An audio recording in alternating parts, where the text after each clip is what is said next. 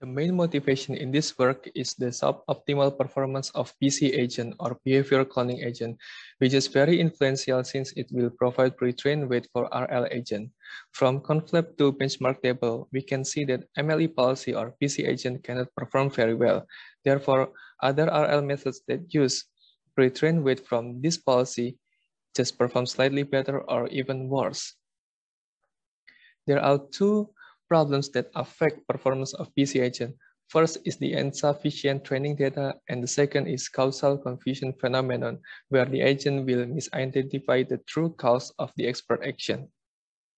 So in order to reduce causal confusion, we propose behavioral cloning with auxiliary tasks that consist of predicting current belief state and current user action. Those two tasks were selected due to their importance in every turn and loss from auxiliary tasks will act as a regularizer to the policy network. And based on the experiment, the proposed learning scenario provides a good pre-trained weight that will improve RL methods both in the policy and end-to-end -end evaluation. So this is the overall structure where auxiliary network will take input from state and output of first hidden layer of policy network. And since we introduce auxiliary tasks, the objective function of original BC will be modified by weighted sum of three losses, loss of policy network, loss of belief state, and loss of user action. And basically all of them are cross entropy loss. So we run our experiment in the ConvLab-2 framework using MultiWOZ 2.1 dataset. And we run using 1000 dialog test data and also four RL methods behavioral cloning, policy gradient, GDPL, and PPO.